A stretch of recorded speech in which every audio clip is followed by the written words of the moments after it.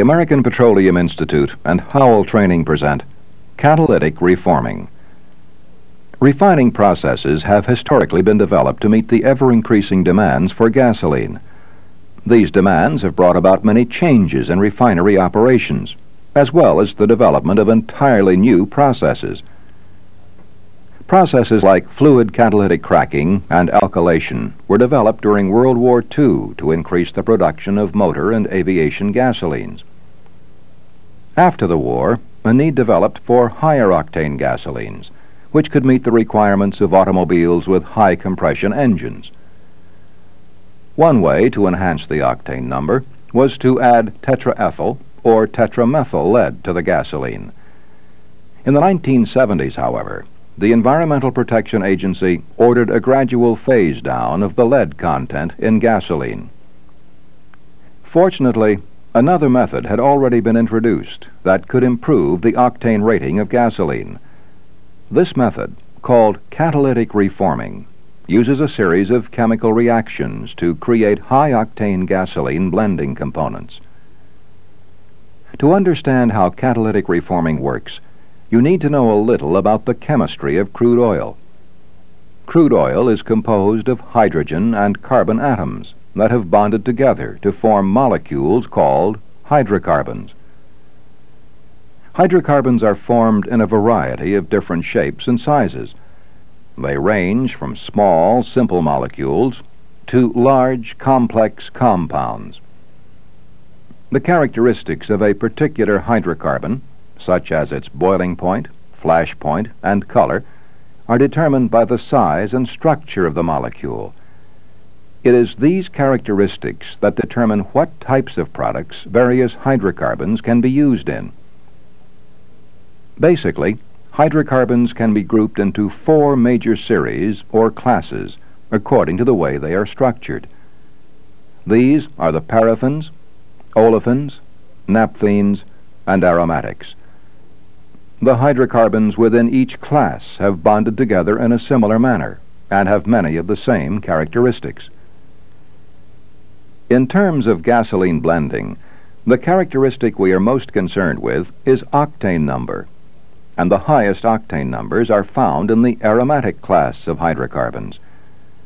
This brings us back to the purpose of catalytic reforming, which is to convert paraffins and naphthenes into high-octane aromatic compounds. But how is this accomplished? Catalytic reforming uses heat, pressure, and a catalyst to rearrange or reform the structure of hydrocarbon molecules. The feed to a catalytic reformer is usually a low-octane naphtha. The feed is primarily composed of paraffins and naphthenes, which explains the low-octane rating.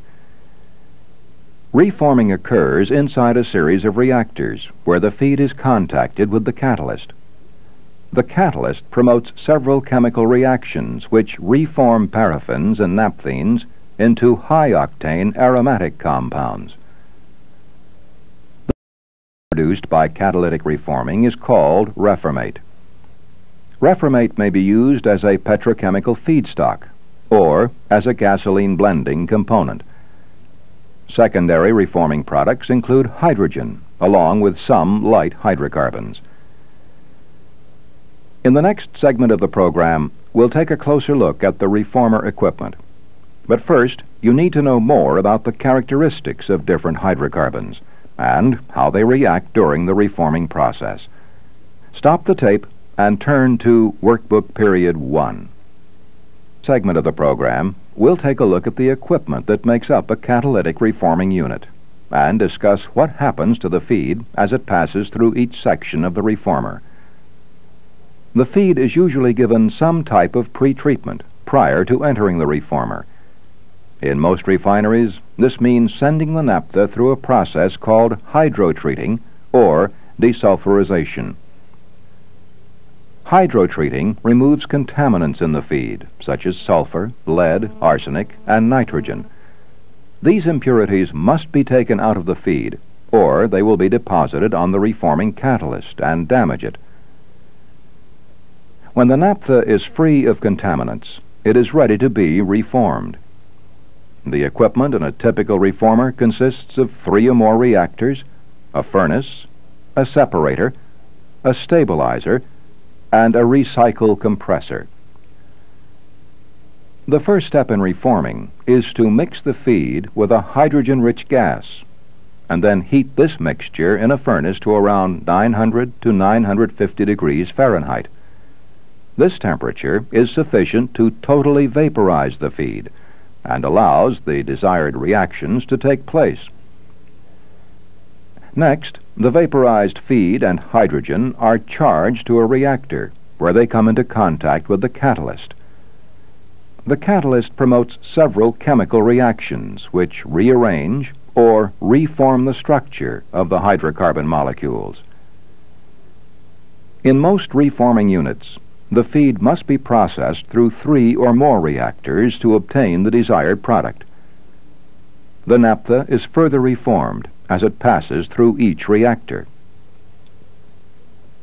The product of one reactor is always reheated in a furnace prior to entering the next reactor. This is because the net effect of the reforming reactions is endothermic, meaning that heat is absorbed. So reheating is necessary to keep the reactors operating at the proper temperature. The product from the last reactor is cooled and liquefied, and then sent to a separator.